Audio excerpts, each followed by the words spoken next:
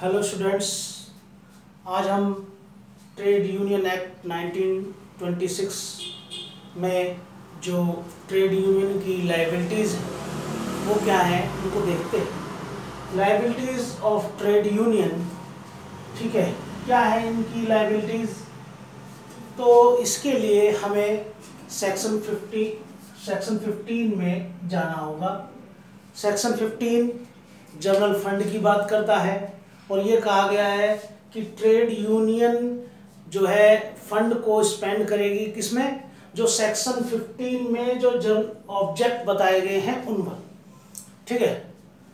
तो जो general fund है उसको किस पर? सेक्शन 15 के जो ऑब्जेक्ट्स हैं उनके ऊपर खर्च किया जाएगा। क्या है उसके objects? These are number one salaries of office bearer जो ऑफ़िस बियर हैं उनकी सैलरीज पर। नंबर टू, ट्रेड यूनियन के एडमिनिस्ट्रेशन पर। Number three, compensation. कंपनसेशन देगी किसको? वर्कर्स को। किससे? जो ट्रेड यूनियन, जो औद्योगिक विवाद से जो उनको हानि हुई है, उसके लिए।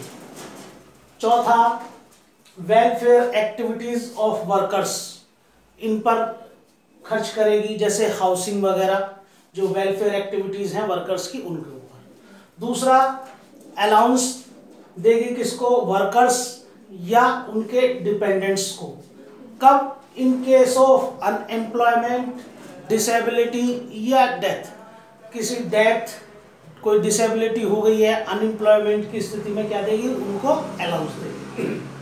और नंबर सिक्स नंबर सिक्स क्या है? पब्लिशिंग मटेरियल ऐसे मटेरियल पब्लिशिंग करेगी जिससे क्या हो? अवेयरनेस इन वर्कर्स वर्कर में अवेयरनेस हो जागरूकता है।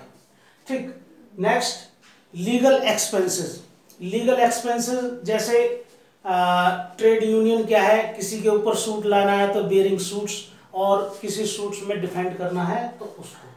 क्योंकि इसमें क्या है कि जो सूट्स जो लाया जाएगा, वो किसी इंडिविजुअल वर्कमैन के ऊपर नहीं लाया जाएगा, बल्कि ट्रेड यूनियन के नाम से चलेगा। और ट्रेड यूनियन उसमें सूट्स ला भी सकती है वर्कर्स की तरफ़ से, और उनके ऊपर भी ट्रेड यूनियन जो है डिफेंड भी करेगी उसमें। ठीक है? नेक्स्ट एजुकेशन पर वर्कर्स की, उनके डिपेंडेंट्स की। नेक्स्ट और क्या करेगी? Taking insurance policies insurance policies लेगी किसके लिए? वर्कर्स के लिए। चलिए। अब इसमें एक केस लॉ और डिस्कस कर लेते हैं।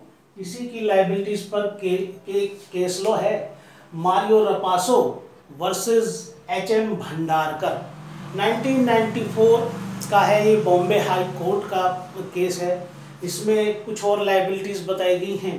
उनको भी डिस्कस कर लेते हैं। इंपॉर्टेंट केस लॉ है। पहला जो ऑफ़िस बियरर हैं ऑफ़ ट्रेड यूनियन के वो अगर जो आ, पैसा है ठीक है कौन सा जनरल फंड वाला उसको इन्वेस्ट करते हैं कहाँ? Share of Unit Trust of India इस पर। तो इस केस लॉ में ये कहा गया कि ये क्या है? हेल्ड इनवैलिड ये इनवैलिड होगा। क्यों इनवैलिड होगा? क्योंकि ये एक स्पेकुलेटिव इन्वेस्टमेंट है।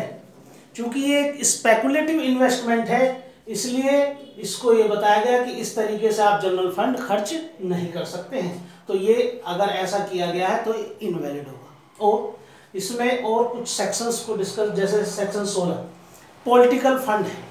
सेक्शन 16 में क्या है? पॉलिटिकल फंड की व्यवस्था है।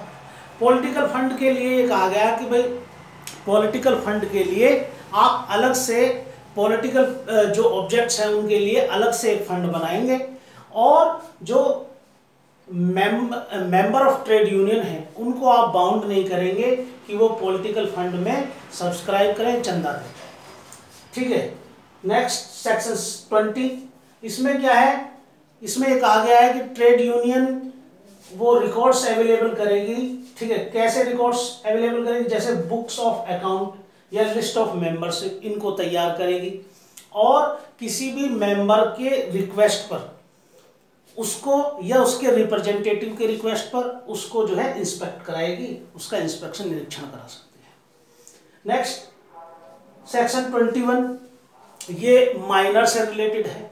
कोई माइनर है और जिसने पंद्रह साल की एज प्राप्त कर ली है तो ये कहा गया है कि वो ट्रेड यूनियन का मेंबर हो सकता है।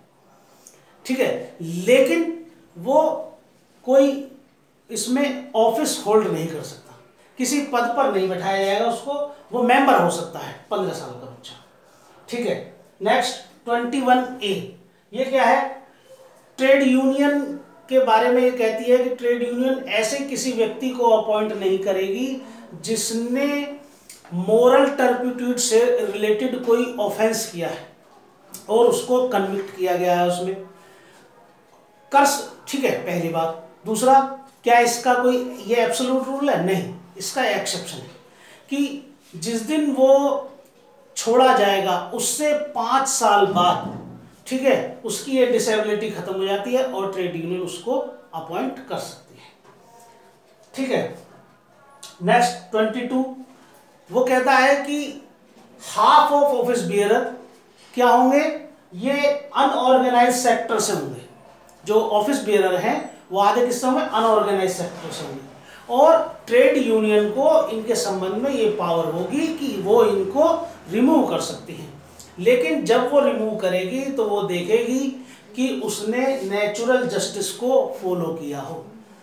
ठीक है? नेचुरल जस्टिस को फॉलो करके वो किसी ऑफ़िस बियरर को हटा सकती है। नेक्स्ट ट्वेंटी एट ये क्या है? जर्नल स्टेटमेंट की बात करता है कि जर्नल स्टेटमेंट जो जितने भी पूरे साल में, यानी कि 31 दिसंबर से पहले 31 दिसंबर से पहले पूरे साल के जितने भी खर्चे हैं या जितनी भी इनकम हुई है एक्सपेंसेस हुए हैं उनको मस्ट देखिए मस्ट लगाया, ज़रूर भेजना है। Must be send to registrar every year प्रत्येक वर्ष क्या करेगी? रजिस्ट्रार के पास में कि उसने पूरे साल में इकतीस दिसंबर से पहले पहले क्या उसकी इनकम रही, क्या एक्सपेंसेस रही, उनका एक स्टेटमेंट रजिस्ट्रार के पास ठीक है?